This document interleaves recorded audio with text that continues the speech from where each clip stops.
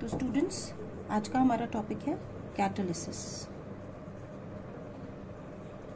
Catalysis इस chapter का second topic है. फ़र्स्ट टॉपिक हम कर चुके हैं which was absorption second catalysis है और थर्ड जो है वो कोलॉइड्स है. कैटालिसिस वैसे वैसे तो बहुत ज़्यादा क्वेश्चंस आने के चांसेस होते नहीं हैं, क्योंकि इस चैप्टर का जो इम्पोर्टेंट कंटेंट है, वो या तो एड्जॉर्प्शन है, जिसमें एड्जॉर्प्शन में भी फिजीज ऑप्शन और केमीज ऑप्शन में से बोर्ड्स में हर साल क्वेश्चन आता है। और उसके अलावा कोलॉइड्स जो है, वो बहुत ज़्यादा इंपॉर्टेंट है, जिसमें से 70 परसेंट ऑफ़ द मार्क्स जो कि, जैसे अगर हम सरफेस की बोलें तो चार से पाँच मार्क्स का क्वेश्चन जो है सरफेस में से कवर होता है मोस्टली फोर मार्क्स का। तो आप मान के चलिए फोर में से थ्री मार्क्स का क्वेश्चन आने का चांसेस कोलॉइड्स में से होता है। अब इसमें ये नहीं है कि हंड्रेड परसेंट थ्री मार्क्स का कोलॉइड्स में से ही आएगा, लेकिन जो ये वो है, जो ऑब्जर्वेशन है, जो इतने सालों में देखा गया है कि सबसे ज़्यादा क्वेश्चन पूछे जाने की जो संभावना है पॉसिबिलिटी है, वो कोलॉइड्स वाले कंटेंट में से होती है, उसमें बहुत क्वेश्चन बनते हैं। सेकेंड नंबर पर एड्जॉर्प्शन में से बनते हैं और कैटेलिसिस में थोड़ा कम क्वेश्चन बनते हैं। तो ये टॉपिक भी बहुत ज़्यादा बड़ा भी नहीं है एंड कॉम्प्लिकेटेड भी नहीं है, बहुत सिंपल टॉपिक है। तो आज अपन स्टार्ट करते हैं कैटलिसिस कैटलिस्ट की मैं आपको थोड़ी सी खासियत बता दूँ कि कैटलिस्ट क्या होते हैं।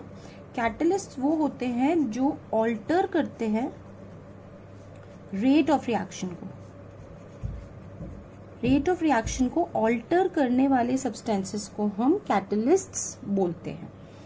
लेकिन उनकी खास बात ये होनी चाहिए कि वो खुद जो है वो अनचेंज्ड रिकवर होने चाहिए at the end of the reaction should be recovered unchanged at the end ये कैटलिस्ट की खास बात होनी चाहिए। अब आते हैं टाइप ऑफ़ कैटलिस्ट कैटलिस्ट के क्या क्या टाइप होते हैं? बहुत सिंपल सिंपल चीज़ें हैं थ्योरेटिकल चीज़ें हैं। आप सुनते जाएँगे, समझते जाएँगे, आपकी कवर होती जाएँगे क्वेश्चन आप कर पाएँगे। पहले है पॉजिटिव कैटलिस्ट पॉजिटिव कैटलिस्ट कौन होते हैं? जो रेट ऑफ़ रिएक्शन को इंक्रीज करते हैं। इंक्रीजेस रेट ऑफ़ रिएक्शन फिर होते हैं नेगेटिव कैटलिस्ट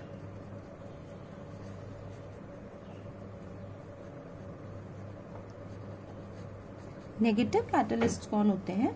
जो डिक्रीज करते हैं। अब यहाँ पे एक मिथ है जो बहुत समय से चली आती है कि कैटलिस्ट हमेशा ही रेट ऑफ़ रिएक्शन को इंक्रीज करता है। बच्चों, ऐसा नहीं है।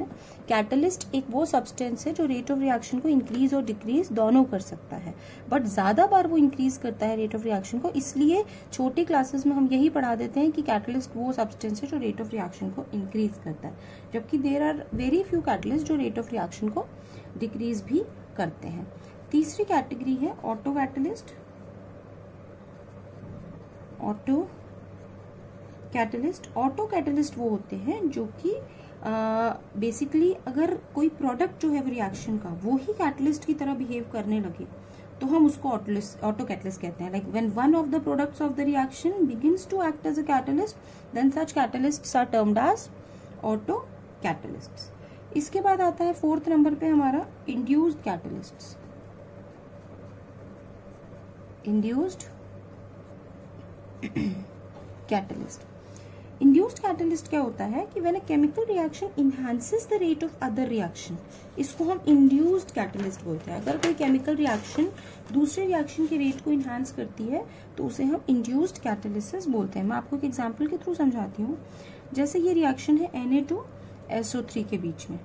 प्लस हाफ़ ओ टू बना रहा है Na2SO4 एंड दूसरी रिएक्शन है Na2 ASO3 and half O two ये बना रहा है Na3 ASO4 ठीक है?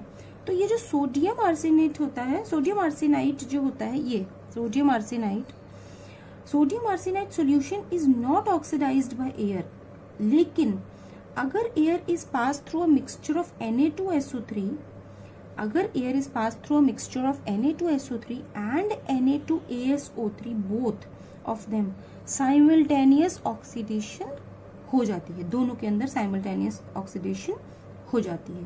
तो इसका मतलब सोडियम सल्फाइड की ऑक्सीडेशन सोडियम आर्सेनाइड की ऑक्सीडेशन को इंड्यूस करती है। ये अपने आप में एयर से ऑक्सीडाइज नहीं होता है। ये अब खुद एयर से ऑक्सीडाइज नहीं होता है। लेकिन अगर इन दोनों को साथ में ऑक्सीडाइज किया जाए, तब ये भी ऑक्सीडाइज होता है और ये भी ऑक्सीडाइज होता है। इसका मतलब ये रिएक्शन किस तरह से एक्ट कर रही है? ये रिएक्शन इसकी ऑक्सीडेशन को इंड्यूस कर रही है। इसी को हम क्या बोलते हैं? इंड्यूस्ड कैटलिस्ट बोलते हैं। अब आती हैं general characteristics of catalysis general characteristics of catalysis catalysis की जनरल कैरेक्टरिस्टिक्स आती हैं। जनरल कैरेक्टरिस्टिक्स में सबसे पहली कैरेक्टरिस्टिक है a catalyst may undergo intermediate physical changes and it may even form temporary chemical bonds with the reactants but it is recovered unchanged तो ये एक इंपॉर्टेंट कैरेक्टरिस्टिक है कि कैटलिस्ट जो है, वो अनचेंज्ड रिकवर होता है। Catalyst is recovered unchanged at the end of the reaction बड़ा सिंपल सी चीज़ है। अगली कैरेक्टरिस्टिक हमारी है although catalyst speed up the reaction but ये पोजिशन ऑफ़ इक्विलिब्रियम को शिफ्ट नहीं करता। कैटलिस्ट इक्विलिब्रियम की पोजीशन को शिफ्ट नहीं करता। ये देखिए, ये मैंने रेट वर्सेस टाइम का एक ग्राफ प्लॉट किया है। ये जो है ए प्लस बी सी ए आप इक्विलिब्रियम इलेवेंथ में पढ़ के आए होंगे।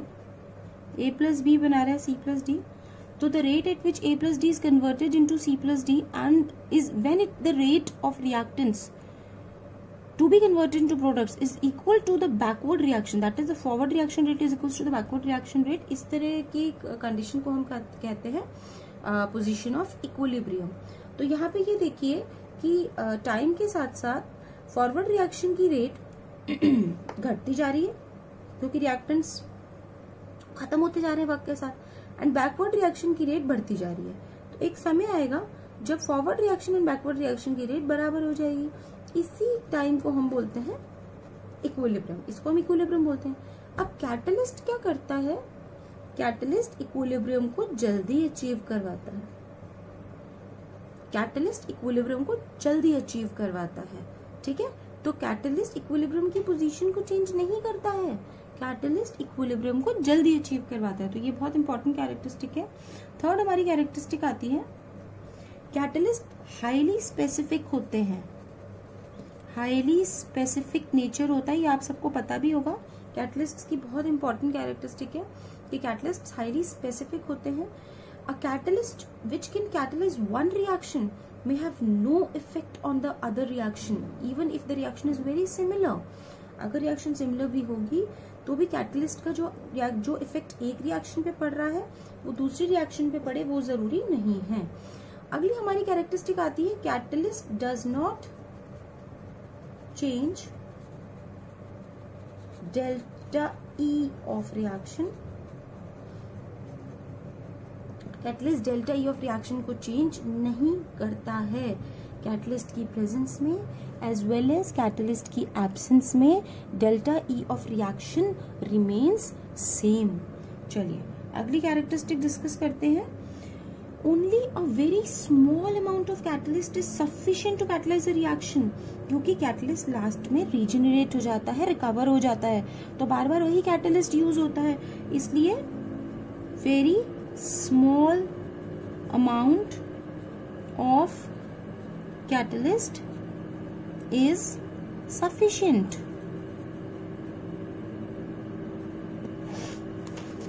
Next characteristic है कैटलिस्ट कभी भी रिएक्शन को इनिशिएट नहीं करता। Never initiate the reaction catalyst कभी भी रिएक्शन को इनिशिएट नहीं करता। अगली कैरेक्टरिस्टिक है कि अगर कैटलिस्ट सॉलिड है तो वो फाइनली डिवाइडेड फॉर्म में होना चाहिए। If catalyst is solid then it should be in finally divided form ठीक है? एक कैरेक्टरिस्टिक है कि कैटलिस्ट रेट कांस्टेंट को चेंज कर देता है। Changes value of rate constant के अब रेट कांस्टेंट के क्या चीज़ है? वो आपको केमिकल काइनेटिक्स पढ़ने के बाद समझ में आएगा। तो हमारी अगली कैरेक्टरिस्टिक्स है कि कैटलिस्ट रेट कांस्टेंट के को चेंज कर देता है। एंड लास्ट कैरेक्टरिस्टिक है कैटलिस्ट की, कि ये मैकेनिज्म में पार्टिसिपेट करता है। Catalyst participate in the mechanism of the reaction catalyst participate in the mechanism of the reaction अब हम कैरेक्टरिस्टिक्स डिस्कस कर चुके हैं टाइप्स ऑफ़ कैटलिस्ट्स पढ़ चुके हैं। नेक्स्ट हमारा टॉपिक है छोटे छोटे से कुछ और भी टॉपिक्स हैं, जैसे कैटेलिटिक पॉइजन क्या होता है? तो मैं आपको बताती हूँ। कैटेलिटिक पॉइजन क्या होता है? सब्सटेंस जिसकी प्रेजेंस से कैटलिस्ट की एक्टिविटी डिक्रीज या डिस्ट्रॉय हो जाए, वो कैटेलिटिक पॉइजन कहलाता है। जैसे कि सीओ और H two S in hydrogen gas act as a poison for iron catalyst in Haber process and AS2O3 act as a poison for platinum asbestos in contact process. So thus it is necessary to remove CO when ammonia is obtained by Haber process and to remove AS2O3 during contact process. चीज़ को समझिएगा substances जिनकी presence decrease करती है या destroy करती है देखिए मैं लिख देती हूँ डिक्रीजेस और डिस्ट्रॉयज कैटेलिटिक एक्टिविटी डिक्रीजेस और डिस्ट्रॉयज कैटेलिटिक एक्टिविटी इसको हम कैटेलिटिक पॉइजन कहते हैं, ठीक है? तो कैटेलिटिक पॉइजन अच्छे से समझ में आ गया आप लोगों को कि जैसे हेबर प्रोसेस है तो हेबर प्रोसेस में हम क्या बनाते हैं? अमोनिया बनाते हैं। लेकिन अमोनिया बनाने के लिए N two N H two की ज़रूरत होती है। तो जब हम एच टू ऑप्टेन कर रहे होते हैं तो वहाँ पे हमें सीओ का भी प्रोडक्शन होता है। लेकिन सीओ इस प्रोसेस में कैटेलिटिक पॉइजन है। इसलिए ये नेसेसरी हो जाता है कि सीओ को रिमूव किया जाए, जब अमोनिया का ऑप्टेन किया जाए ड्यूरिंग हेबर प्रोसेस तो ये क्वेश्चन बोर्ड्स में एक नंबर का क्वेश्चन बन के आ चुका है। कि why is it necessary to remove CO when ammonia is obtain by Haber process तो आंसर है because CO acts as a catalytic poison अगला है हमारा इनहिबिटर्स इनहिबिटर्स इनहिबिटर्स वो सब्सटेंसेस होते हैं जो retard rate of the reaction retard rate of reaction inhibitors retard rate of the reaction यही इनिबिटर्स की कैरेक्टरिस्टिक होती है कि रेट ऑफ़ रिएक्शन को वो डायरेक्टली कम कर देते हैं। ठीक है? कैटलिस्ट को इफ़ेक्ट नहीं करते हैं, वो directly speed of the reaction को कम कर देते हैं। जैसे H three P O four glycerol और एसिटमाइड जो होते हैं, वो एच टू ओ टू की डिकम्पोजिशन डिकम्पोजिशन की रेट को कम कर देते हैं। नेक्स्ट टॉपिक हमारा आ रहा है types of catalysis types of catalysis इस पे क्वेश्चन आ सकता है बोर्ड में। टाइप्स ऑफ़ कैटलिस्ट बहुत सिंपल है, मैं आपको समझा देती हूँ। एक होता है होमोजीनियस और एक होता है हेट्रोजीनियस होमोजीनियस वो होता है होमोजीनियस कैटेलिसिस हम उसको बोलते हैं जहाँ रिएक्टेंट्स एंड कैटेलिस्ट याद रहे reactants and catalyst are in same physical state और हिट्रोजीनियस वो होता है जहाँ reactants and catalyst are in different physical state अब यहाँ क्या गलती होती है वो मैं आपको बताती हूँ। जनरली होमोजीनियस में ना लोग इस तरह से लिख देते हैं कि जितने भी रिएक्टेंट्स हैं एंड प्रोडक्ट्स हैं एंड कैटलिस्ट है, वो सेम फ़िज़िकल स्टेट में है, नहीं। होमोजीनियस में reactants and catalyst same physical state में प्रोडक्ट मेंशन हमें नहीं करना होता।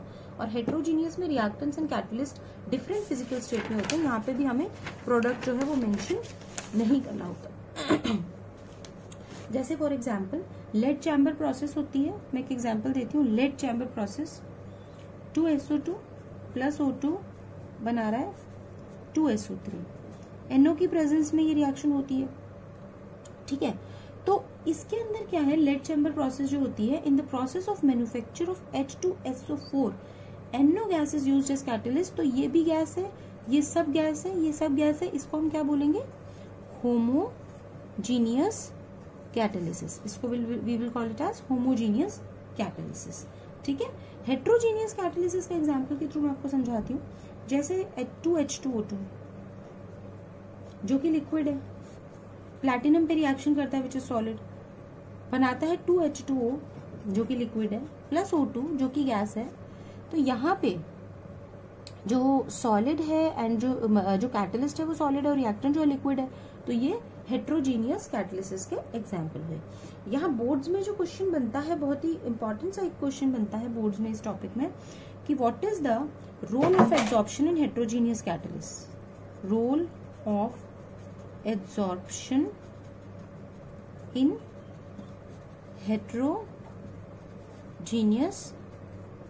catalysis ये बहुत इंपॉर्टेंट क्वेश्चन है। बोर्ड्स में बहुत बार रिपीट हुआ है कि हेट्रोजीनियस कैटलिसिस में एडिजॉर्प्शन का क्या रोल होता है। तो इसका आंसर ये है कि in this type of catalysis the reactants are generally gases and the catalysts are solids reactants जो होते हैं, वो गैसेस होते हैं एंड जो कैटलिस्ट होते हैं, वो सॉलिड्स होते हैं। Reactants are generally gases and the catalysts are solid. The reactant molecules are adsorbed on the surface of solid catalyst by physisorption or chemisorption जिसके बारे में आप पढ़ चुके हैं As a result, the concentration of reactant on the surface of catalyst increases and hence the rate of reaction increases.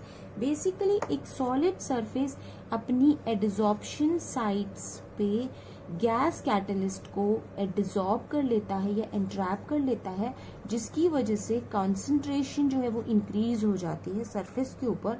और इसी तरीके से ये जो सॉलिड है that is why the solid is acting as a catalyst as a solid catalyst in a gaseous reaction it is an example of heterogeneous catalysis and that is how adsorption plays a great role in the heterogeneous catalyst. This is very important question for board examination, which has been asked several times in boards. तो ये हमारा part one था catalysis का अगले part में हम theories of catalysis पढ़ेंगे और थ्योरीज ऑफ़ कैटलिसिस पढ़ने के बाद में कुछ इंपॉर्टेंट चीज़ें पढ़ेंगे, जैसे शेप सिलेक्टिव कैटलिसिस पढ़ेंगे and some features of solid catalysis पढ़ेंगे एंजाइम कैटलिसिस पढ़ेंगे एंड उनका मैकेनिज्म